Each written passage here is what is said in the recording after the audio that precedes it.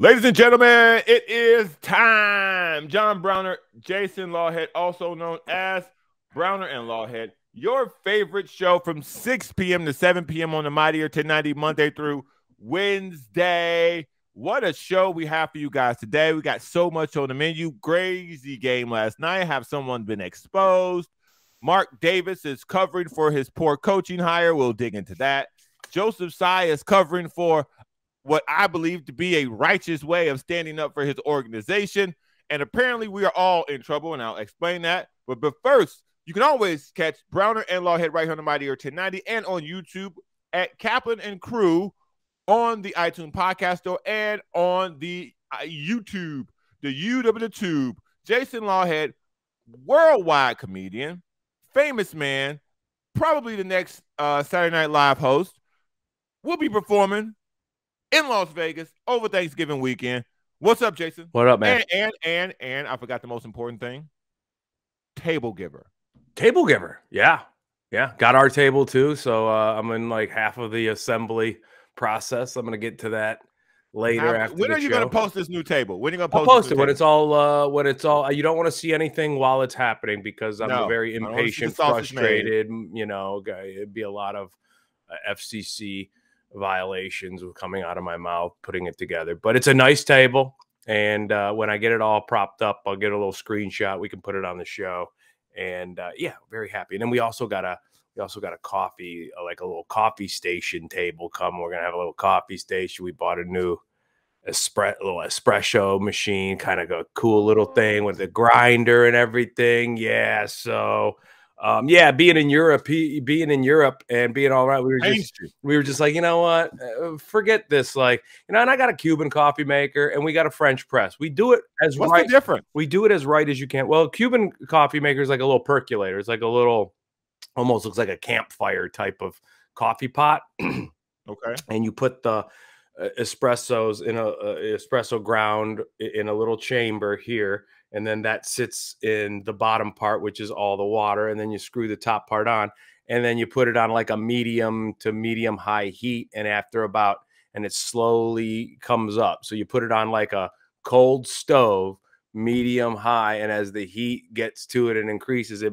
it percolates that water hot water that's room temperature up through a little tube that then uh disperses the coffee grounds and then there's a little screen on the top part that catches the ground so then it just becomes co- coffee and you hear it bubble and it's great. And so i really like hmm. my coffee that way and then we have the french press so we don't have like a coffee pot or a coffee maker or anything like that. We do it that way and that's as good as you can do it without having your own espresso machine with the grinder. So we've upgraded after our trip to europe we, we were i was just like you know what we're, we're finally doing this like as much as i love how we have coffee i want to ground my own beans and i want an espresso machine so it's coming and we got that so that's exciting I, I'll, I'll show you the whole new kitchen setup once we get it all done Oh. Well, I'm glad you're back from Europe. Yeah. And I'm glad you're kind of checking some things off your list Yeah. because we may all be in trouble soon. I don't know where Yeah. you've been today. Normally, we kind of cover sports on this show in a very lighthearted way, more of a very topical way, but sometimes real world things happen and we just have to address them just in case you haven't heard them because you guys get busy and, and blah, blah, blah. Uh, Russia, it is alleged that Russia fired a rocket into Poland, hitting a farm and killing two people. If you don't know the details about the Ukrainian and Russian war, I don't blame you. It's it's not that complicated, but it's a lot to deal, delve into if you have a full going life for something that's happening completely on the other side of the world.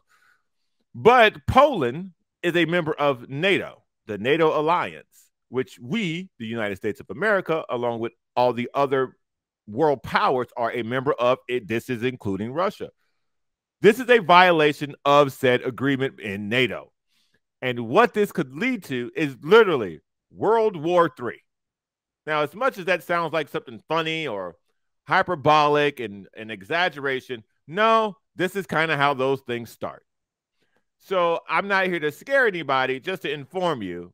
You should probably look into this and read because this could get ugly real fast. Yeah, I mean, uh, it's scary, right? Like, um, you know, part of Poland is, you know, you know, Russia's been known to want that back too, you know, from the Yep. old Soviet Union days. They were supposed to be next.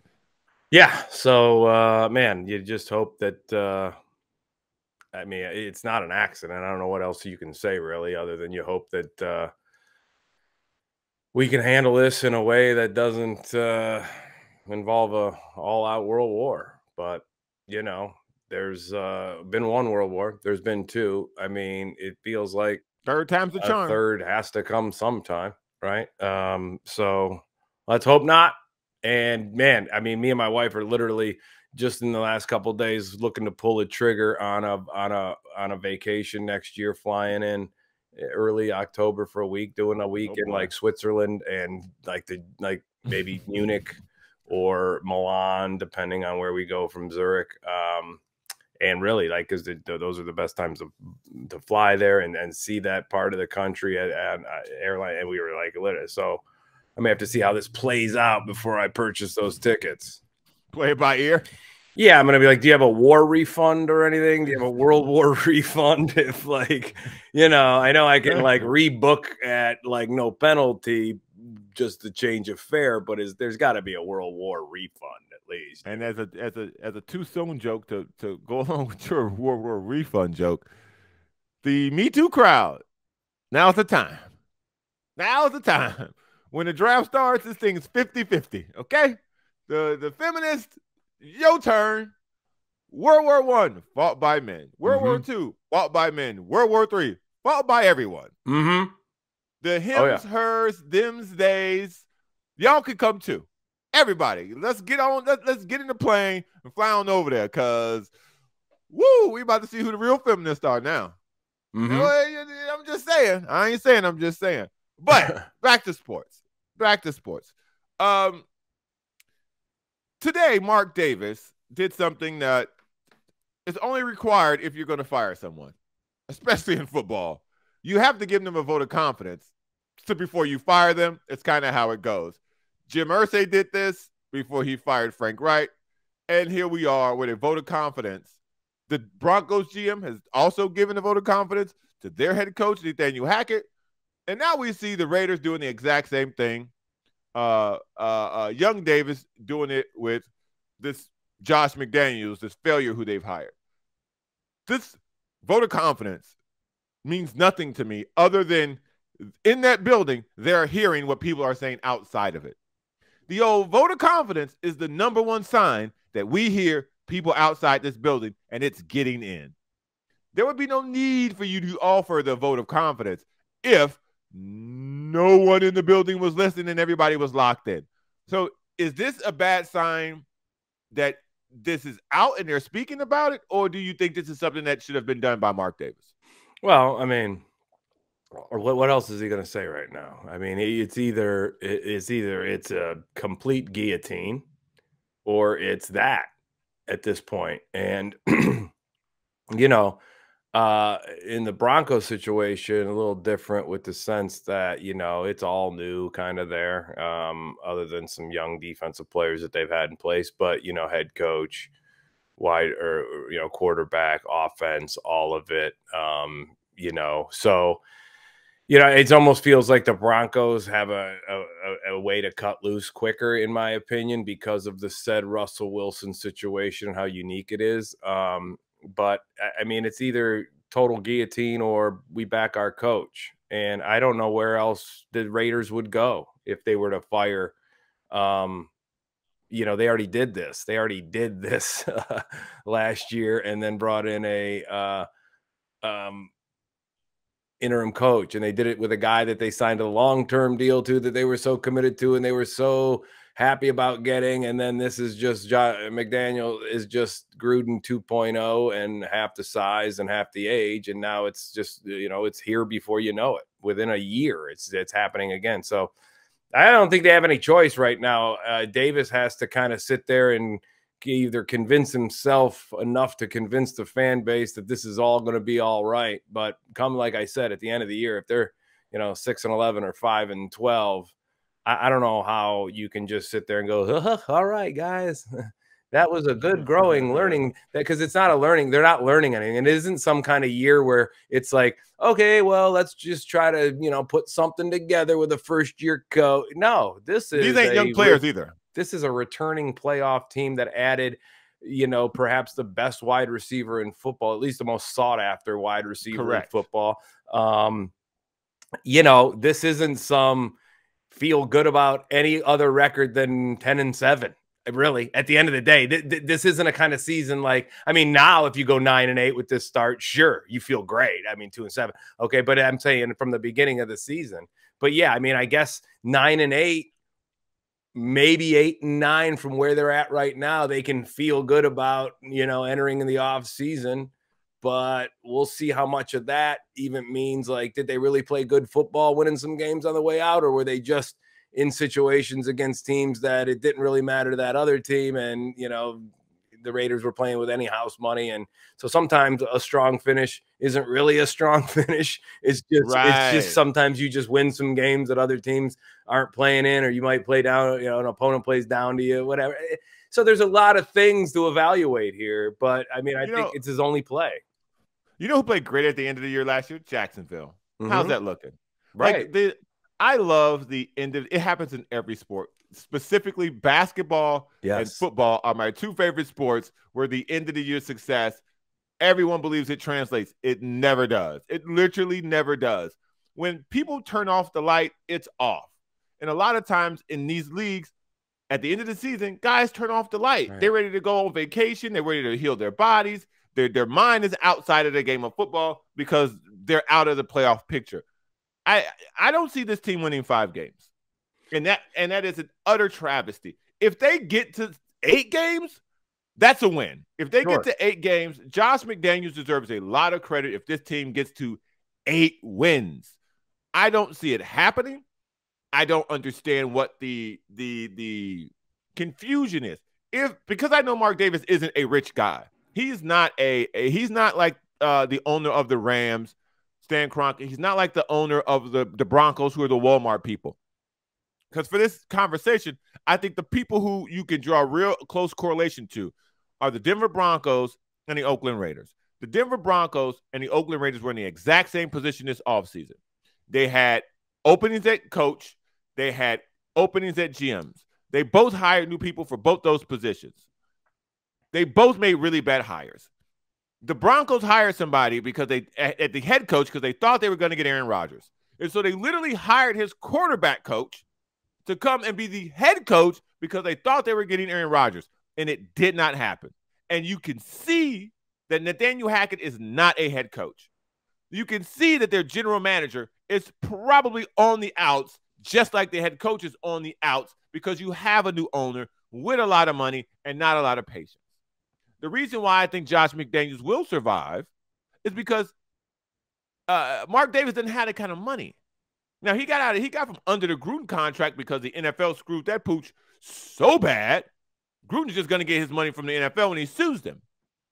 But that was a hundred million dollar contract for ten oh, years. Yeah. For ten yeah. years, so he can afford to cut the check, or you would hope to be an NFL franchise, you can afford to cut a guy a check and have him go away and get a job somewhere else and, and take a little bit off the top of that. So the vote of confidence does nothing for me, but assure me that Mark Davis is hearing that he made a bad hire. He's hearing the rumors and speculation on the outside about what's going on inside the locker room. And Josh McDaniels' inability to relate to grown men who don't have to listen to him if they don't think he's correct.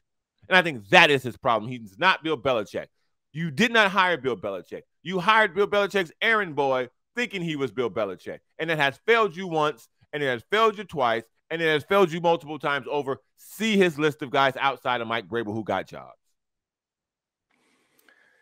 Yeah. I mean, regarding the Raiders, just to go, go back, like with that, with how they finish, I mean, they the next two or three, four games are very like winnable uh, as far as the opponents and, and who they're playing. Um, and if they can't take three or four, the next you know, Denver, Seattle, who's yeah, oh. beatable, totally beatable. I mean, obviously this oh. team is playing above their head, but don't tell me that a Raiders team isn't more talented on paper than Seattle. The, uh, Listen, the, the, the, the Chargers and the Raiders with the way those teams are playing, or the Chargers and the Rams. So out of these next four, if the Raiders are, are, are come out one and three, I mean, this is a this is a team going in the the hole, right? Like you almost kind of feel like maybe a change at head coach or maybe a change at something could bolster the the the Broncos somehow. But if if the Raiders don't flip this switch in the next four, it's like they're buried in a hole that you know radar can't even find. I mean, these guys are in trouble. I will tell you that the, the next game between the Broncos and the Raiders is the You're Fired Bowl. Yeah, you, this Sunday. Loses, yeah, yep. this Sunday, the You yep. Fired Bowl is taking place wherever it's taking place. Because whichever in one Denver. of these two teams in Denver, the You Fired Bowl at Mile High Stadium or whatever it's called, the loser of this game, I don't care how it happens, you're done. You're done. You're done, man. You're done. This is the perfect time for those two teams to be playing each other. And it's the perfect time to kind of address this Joseph Tsai situation because I don't want to spend a lot of time on it. I know you don't either. Okay. No, I don't. So Joseph Tsai enlisted the. For those of you who don't know, Kyrie Irving has been suspended for basically retweeting a anti-Semitic video and then failing to apologize. The Nets then came down on him with a list of demands that he had to do to get back on the team. And I'm here to tell you, as a black man, I don't have a problem with what's happening. That doesn't make me an Uncle Tom. It makes me a person who's aware of Kyrie Irving's history, that's all it does. And for all these people out here jumping on Joseph's side and jumping on black people for saying that, oh, Kyrie Irving should have been suspended. And this list of demands, oh, this is now, oh, it's too much. No, it's not. Because this isn't Kyrie's first issue, say his first situation. This is like his fourth situation in two years with the same team. So if I'm somewhere causing this much dysfunction, if I'm on a job and I'm a no call, no show, and then now I show up, I'm offending my customers, you got to go you gotta go. And so they the NBA has been suspended him indefinitely because I think Joseph Tsai is trying to get Kyrie to quit the team. I, I don't think this is about whether they think he's anti-Semitic because I don't think that they think he's anti-Semitic. They just don't want him around, man. Well, because this this isn't the this isn't the first thing, and this it won't be the last thing. By the way, he's, he's only got a one year deal. This won't be the last thing he does. Yeah, See, I, I, I think that at the end of the day, no matter who's right or who's wrong or whatever goggles you want to look through, and you just said, you know, Joseph Tsai, they, they want him to quit the team. I think it's because they already felt that he's quit the team. And I think that they feel yeah. deep down, deep down, all of that management, they really feel Kyrie quit this team three times, three controversies ago.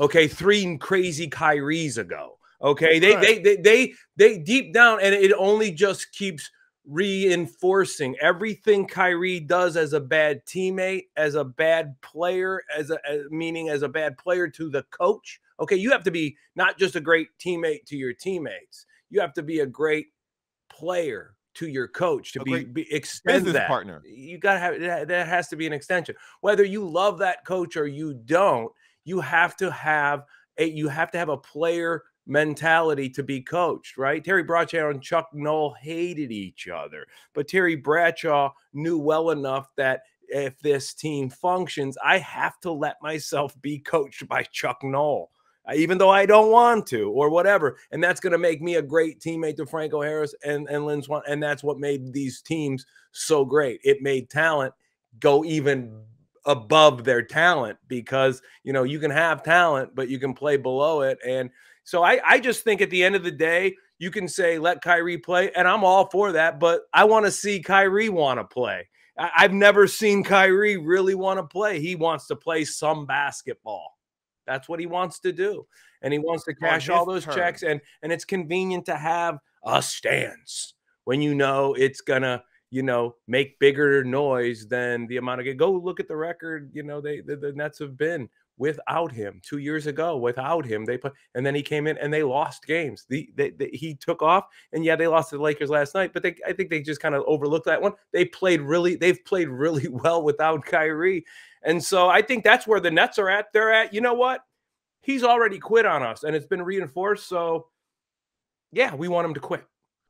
I think it's funny that no one that wears a Nets uniform is speaking out on behalf of Kyrie.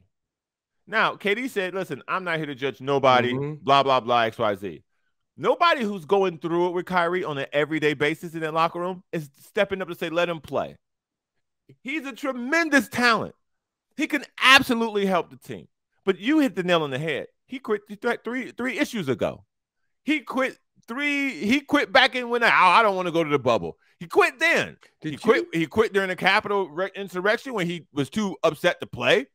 He quit during the COVID situation, and now you're. This is the fourth time you've had to deal. in that, that by the way, that we know of, because these guys get away with a lot of stuff that we never, we hear nothing about. And trust me, from firsthand experience, I know some of these things that these guys get away with. And if you knew them, these opinions wouldn't be formed in defense of Kyrie. So I find it unbelievably hilarious that people are defending Kyrie Irving like this is the only thing he's done for the Nets.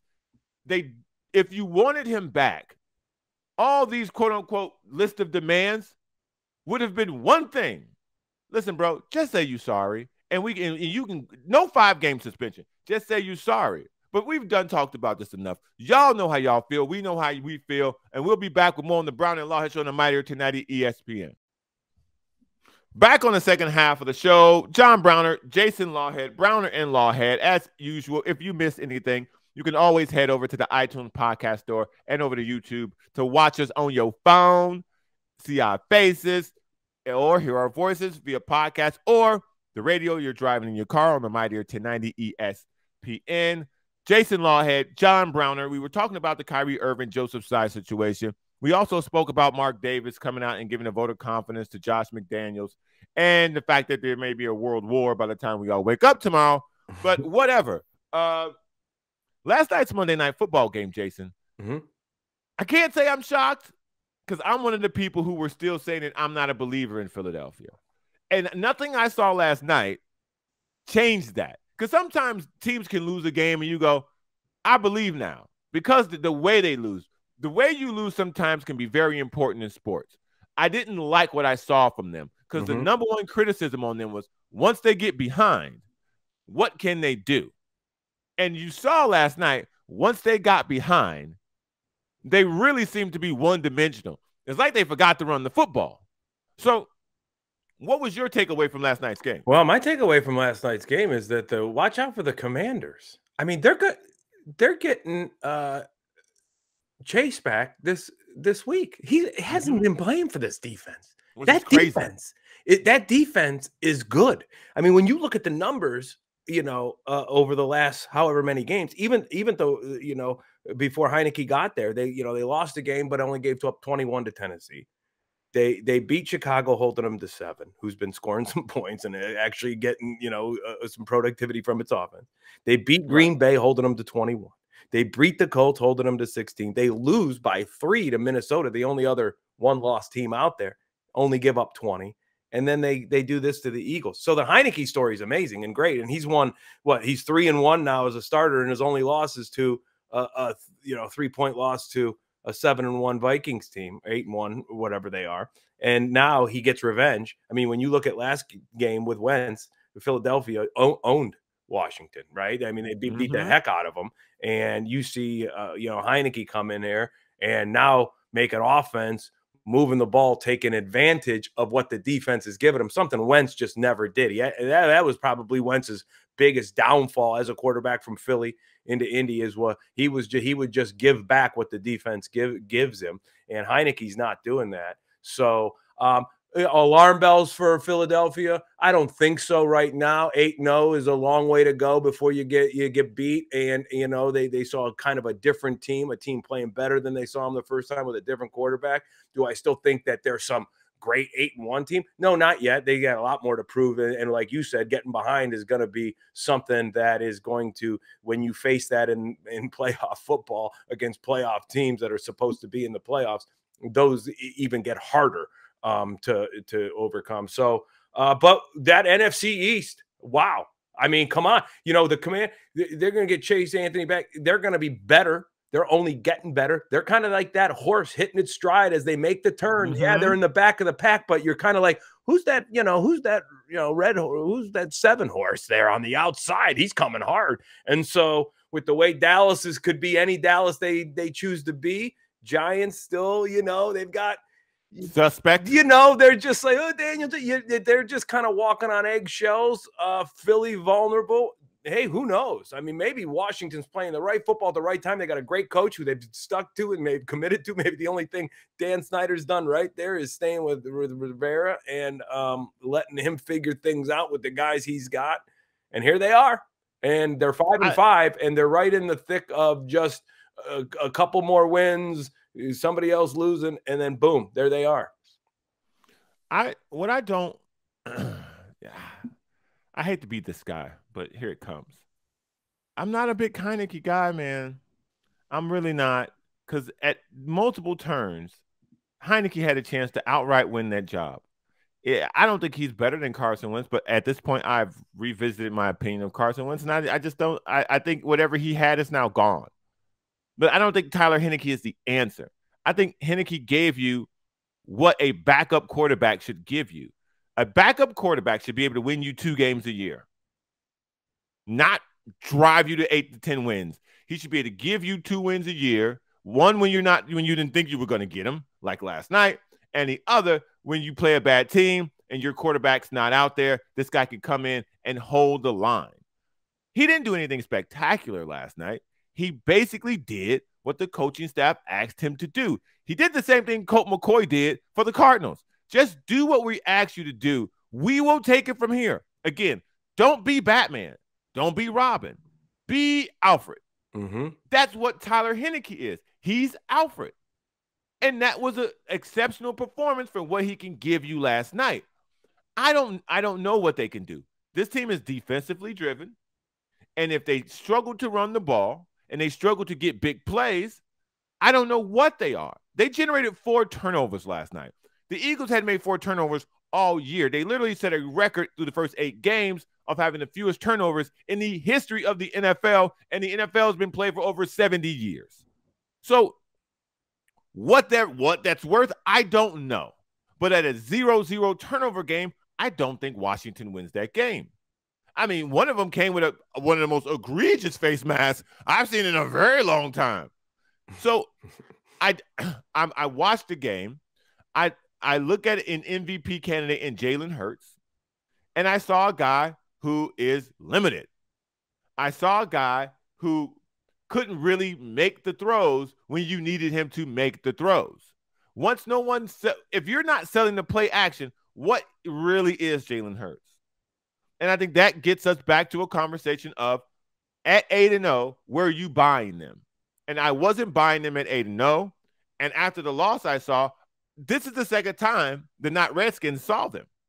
What happens when the Cowboys see them for a second time? And the Giants, who are probably the best, the, the best coaching job this year mm-hmm. has been by Brian Daboll. Yes. So the second time Brian Daboll sees the Eagles, how is that going to look? So I, I just and they play them back to back. Well, I know the Eagles playing back. The Eagles play the Giants, then go on the bye week, and then play the Giants. So the Eagles have uh, two really winnable games coming up. I believe they've got uh, Car- or they've got Houston and Atlanta, and then they go see the Giants, go on the bye week, and come back and see the Giants, which are going to be huge games for um, for Wash or if that's for uh, Washington. Uh, those are those are going to be huge games for Washington to measure up to see what they're against uh, against the Giants, especially if they can come out of these next two winnable games with wins. If mm-hmm. they're seven and five, and then they've got the Giants a bye week, and then the Giants. But yeah, you know, Philly not not never been really like bought in on them, but also have given them their due to be like, hey, they're eight no oh in a conference that right. that's in in the conference that's down compared to the two conferences in a whole season that isn't playing a lot of great football from teams we've expected to maybe see better football from, yeah. and so that gave them more fuel, in my opinion, at eight no. Oh. But uh, this game, like I said, I, I, my takeaway isn't so much you know um, sound the alarm bells for Philly. Game teams lose games. I mean, you know, sometimes it's good, just good to get that loss and not have the media hovering over an undefeated season. But Washington, man, and then with them getting chased, I mean, they're to be better. And like I said, it just feels like they're getting stronger. And if they believe in Heinicke, like we said, there's teams out there that you don't that can win it that don't need a Batman, right? They just need an Alfred. And you know, the 49ers, there's a couple teams we've cited. Cousins, there's a couple teams out there that are good enough on the roster that could win something and go far if Alfred just makes sure that the suit's pressed and the the, the, the car is fueled up. That's it. That's it. And so I, I, I thought last night's victory by Washington was very NFL-y. Mm-hmm. And what I mean what I mean by that is anybody can get beat on any day in this NFL. The Texans could beat the Chiefs. Like, look at the disarray the Colts were in when they beat Kansas City. Like, it can happen. So I don't I don't sit around looking at one win going, woo, okay, here they come. No. Unless it's like a massive, like, oh, that was a from from 15 minutes to zero on the clock per quarter, they serve them up. Unless it looks like that, I generally don't overreact to a win when it looks like this because this happens in the NFL. It happens to every great team in the NFL. It happens to every every bad team beats a good team, and every good team gets beat by a bad team in the NFL week after week because that's just the nature of the Yeah. sport.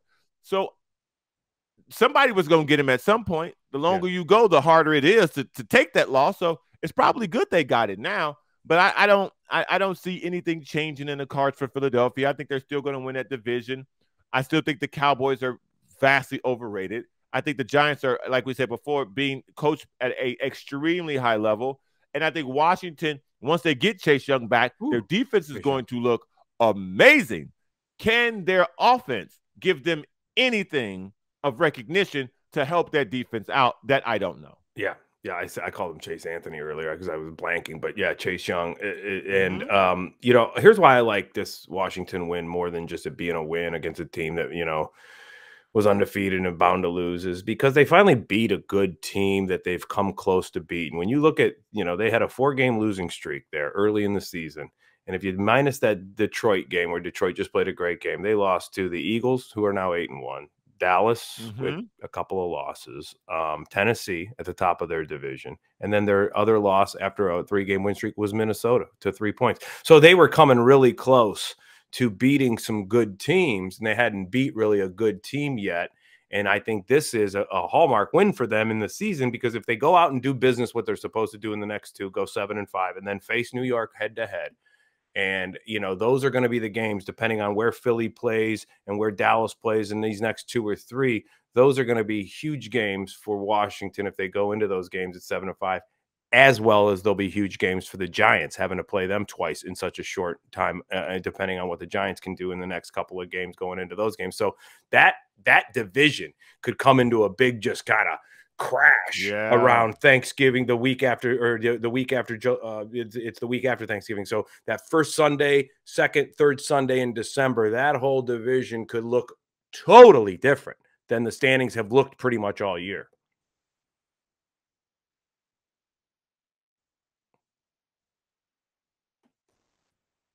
Did I lose you? Did I lose you? I think I lost you. No, no, no, no, no, no, no. Oh, okay. A little situation. That'll be edited out of the show. Gotcha. Whoops. My bad. What happened? Did you did you accidentally X out of your screen? Yeah, dude. I lost you. Yeah. Yeah, I was trying to do another thing and, and look up. I was trying to look up uh, Ah, the record for the what I was about to say next, and I completely like hit the well wrong then just, thing. just stream it right off of that. Like uh, whatever I said, I said basically like that whole division could come to a clash there in that first or second, third week of December. So the idea that after, let's say if the Eagles drop another game, the Giants keep rolling, the Cowboys find their way. I mean, the Cowboys have a huge test in Minnesota uh, this coming weekend. So I mean, this will kind of be a make or break for them as well. So I the division could by Thanksgiving, the division could either be wrapped up Yeah. or be a dogfight, like you said, it could collapse on itself. Um, Yeah. Also, in some news uh, breaking as well, Cooper Kupp has a high ankle spray, and is basically going to hit the injured reserve. I, speaking of divisions, this division is crashing at the top.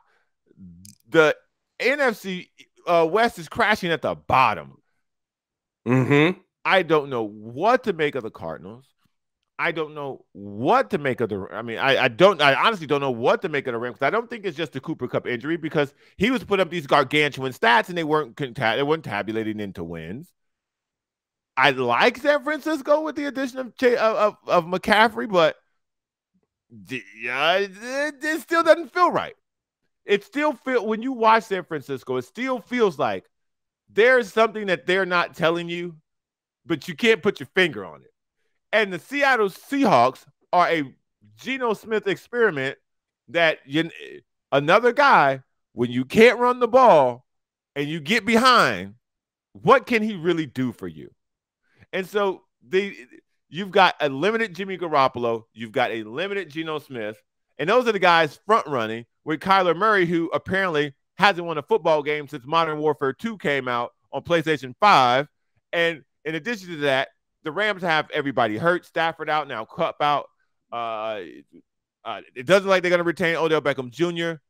So this is a this division which we were all hyped about has tanked. The other division we were all hyped about tanked, and here we are. Yeah. Here we are with the AFC and the NFC East as the elite of football. Right. And, and, and, you know, I mean, obviously we knew the Bills, everybody had them just giving them the Super Bowl before the season. And, you know, teams were obviously people were like, you know, high on what the Dolphins could be if everything worked out.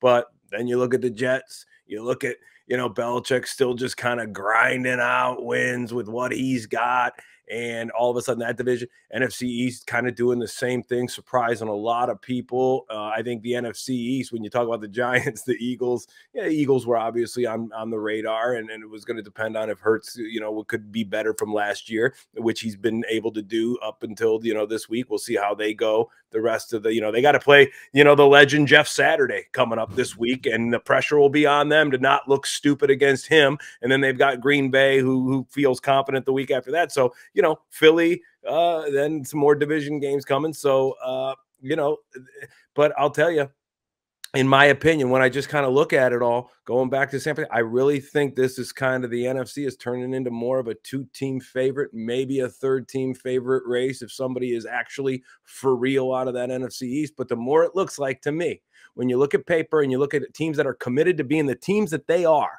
and will be, and, and it's San Francisco and Tampa. And I, I really think that in the Ooh. NFC, Tampa, San Francisco, and Tampa know who they are better than everybody else knows who they are. And maybe they had a few bumps in the road early, and then San Francisco had to get Garoppolo in there and, and acclimated. And Brady had to kind of come along with injuries to come along. Now he's got a great running game, and they both have defenses. No matter that, no matter that Brady's a seven-time Super Bowl winner and the greatest of all time, and Garoppolo is that guy that everybody thinks can he can he be good enough to win look, they both have amazing defenses that can get them the ball, control field position, score points for them. And I really think it's a two team race. And maybe if somebody from the NFC East is for real, uh, then maybe they can come in there and shock the world. But uh, yeah, I, I think it's San Francisco and Tampa going down to the wire for that thing. Let me offer this up to you. I think that Vikings know who they are. I just don't trust Kirk Cousins. Yeah. I think in the Vikings knowing who they are, they don't trust Kirk Cousins. Mm-hmm. And so as much as they've had such they've had an amazing season. Similar to the point. Eagles. They know who they are, but yes. is Jalen Hurts gonna the, be that guy? Yes. If you get behind, getting behind, I like Kirk Cousins more than I like uh, Jalen Hurts. But if the lights turn on in the stadium, I like Jalen Hurts and I don't yeah. like Kirk Cousins, mm-hmm. which is mm-hmm. a weird, crazy mystery. But when we talk about teams who know who they are, I think the Vikings know who they are. They're the leadership of the team is what gives me unease. The uh, leadership but, oh. in the Eagles organ in the Eagles locker room gives me unease, and the Vikings it gives me unease. Tom Brady, that team has so that team is so broken though. It is so know. broken. I don't, I don't know. I think I think you're going to see a Buccaneer team off this win in Germany get better. Really? I really do. Yeah, I do. I think you're going to see him get better. I think, you know, he's still got the receivers. Um, they've got to be better in the red zone. There's no doubt, but they got a great, they got a, they're getting great running games of late. They're they're playing to the pace that their defense dictates. I think they're only going to get better. That division, they're going to have division games, the clean clock down there, and and and uh, finish strong. And yeah, I just think that when you have Brady and you have the weapons they have, and though you have the defense playing at that high energy pace, that's a playoff defense. Mm-hmm. And, and, that's a playoff running game. And if you have Tom mm-hmm. Brady, you have a playoff running game and a playoff defense, and you have Tom Brady in, in an NFC that isn't that great. It would be one thing if Davante Adams was still in Green Bay and they were just cruising and lighting it up, or it'd be another thing if the if the if the Rams were the same team they were last year and just rolling it and just running it back and, and looking great, and Stafford's doing his thing and Cooper, you know, isn't you know isn't getting hurt, and guys, you know, yeah, it'd be that. Then maybe I'd sit there and go, "This isn't a Tampa team." You know, this Tampa team. You know, but but they're a this is a Tampa team that probably loves what's happening around them in their surroundings. I'm gonna. I'm gonna give you a dark horse right now that everybody's poo pooing. That's far that that's back, but not not Chicago Bears back. They're far back in the standings, but they're not last place back. I think the Arizona Cardinals are to hmm. figure out what's going on with them. Wow.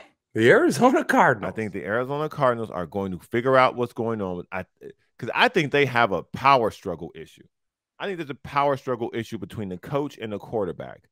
And I think the coach is going to win that struggle for the time being. And when he does and gets Kyler Murray back on track, I think that offense is going to the offense is going to look like what everyone thought it would look like. And you're going to find yourself looking at this division going, okay, who do I like more? Do I like the Cardinals more than I, at quarterback? Who do I like more at quarterback? The Cardinals, the 49ers, or the Seahawks? And the Seahawks will be third. And then it will come down to whether you trust Kyler Murray or Jimmy Garoppolo at the end of the day. And I think people will answer that with Kyler Murray. But again, that's a dark horse. I don't know. I think there's just a lot of maturity factors in the whole scheme of yes. it, right? I think yes. I think Arizona has a lot of growing up to do in a short time for you to yes. have that prediction come true. Do I believe that they have the growth period to be that team next year or in the next couple of years? I, I do. I think still Kyler Murray's a heck of an athlete and a great quarterback, and if they can get on the same page, do some really good things. But, but it's going to have to be in the next couple of weeks, and gonna, we're going to have to find out tomorrow mm-hmm. because we've done this thing for one hour. Browner and Lawhead, it's never Peace. enough. We'll see y'all tomorrow, Wednesday. Peace, Mayor tonight. Peace. Peace.